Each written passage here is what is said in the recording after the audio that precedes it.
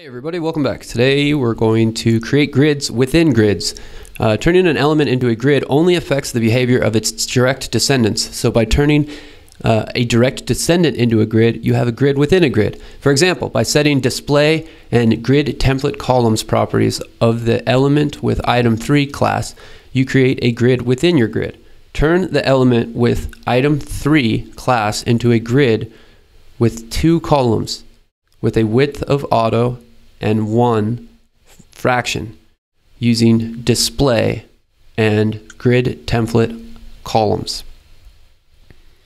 Okay, so let's look at this. Turn item three. Okay, so item three is this guy. Okay, they were nice enough to tell us where to write our code. the pale turquoise. So our grid area is content. This is item three in here. Um, Item three, it's got item one, item two, and item four. Let's just write a little p in here. This, this just shows us which one it is.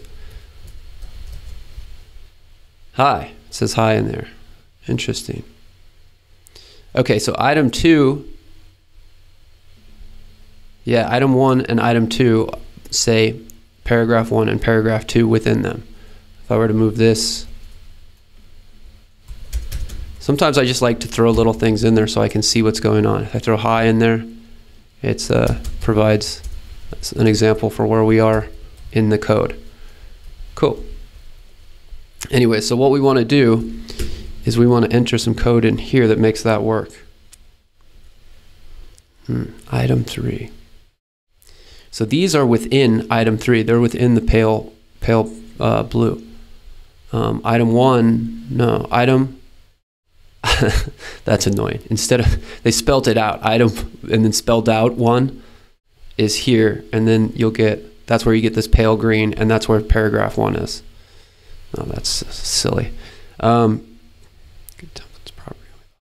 Item three should have grid templates columns. Grid template columns with um, Okay, so we want two columns with the width of auto. So we want to say repeat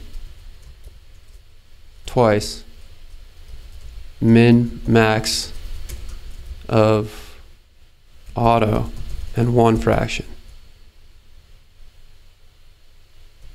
I don't think that this is 100% right. Let's run the test and see.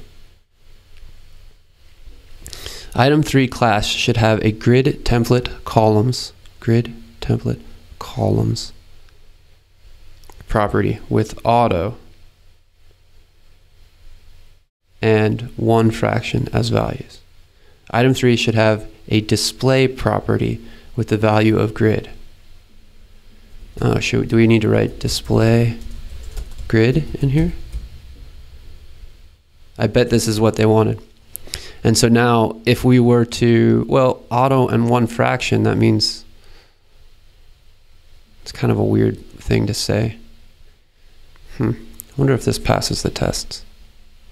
Okay, so we've got the display property with a value of grid, but item three should have a grid template, grid template columns property with auto and one.